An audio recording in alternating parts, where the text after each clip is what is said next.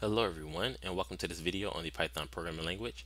So in this video I will show you how to generate a QR code using Python. Now a quick response code or QR code for short is a type of matrix barcode or a label that is readable to computers and it was invented in 1994 by the Japanese automotive company called Denso Wave. So I'm currently on Google's website. It's called colab.research.google.com and I'm on it because it makes it really easy to start programming in Python.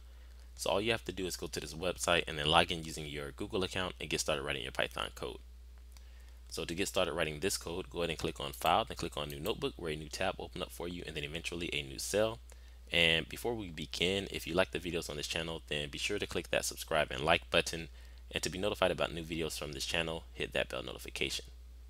So the first thing that I'm going to do is put in a description and comments. So I'm just going to type description here and it's going to describe our program.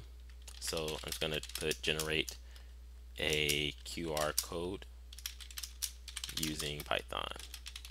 All right. Next, I'm going to go ahead and click this code button in the top left to create a new cell.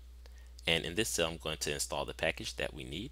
So just type pip install QR code and then I'm going to run this by clicking that button here to the left. So this right here should install the package for us and it shouldn't take too long. So let's give it just a little bit of time. Alright, so it's done. Let's create a new cell. And now in this cell, I'm going to import the library from the package. So I'm just going to import QR code and then I'm going to run this cell all right. So that's done. Let's create another cell. And here I'm going to generate the QR code. Okay so I'm going to create a variable called img which will be short for image. And I'm going to set this equal to QR code dot make. All right. And now inside of make I'm going to input the URL that I want that barcode to send us to.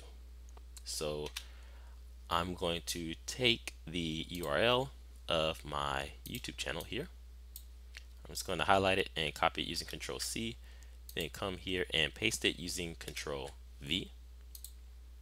All right, and then I'm going to run this cell. And then last but not least, I'm going to create a new cell and I'm going to save the image as an image file. Like .jpg okay so now I'm just going to type img dot save and I'm going to call the file YouTube QR code jpg so let's run this to save the image file now we have to go to where the file was saved, which is right here to the left. And here it is called YouTube QR code.jpg.